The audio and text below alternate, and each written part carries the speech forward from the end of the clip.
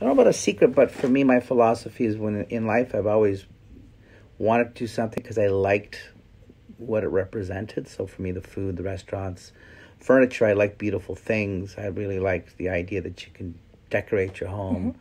and feel comfortable in that space. So you had passion for those products. Yeah, I mm-hmm. had passion for it. I mean, I I did, I mm-hmm. did. I didn't realize I had that much passion for furniture until I started digging into it deeper. Interesting.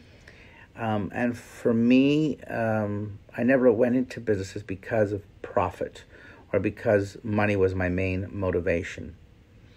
It was based on I will. I think this is something I really want to do. I think the most important part, or you'll call it the secret, is that it has to be viable. Otherwise, it just becomes a hobby.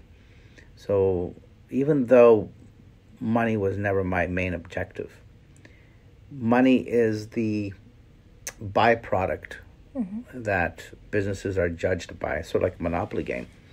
So it's a game. You treat it like a game, and so when you make money at it, you have to learn how to make money at it and what's the best way to make money at it. Then it becomes a business.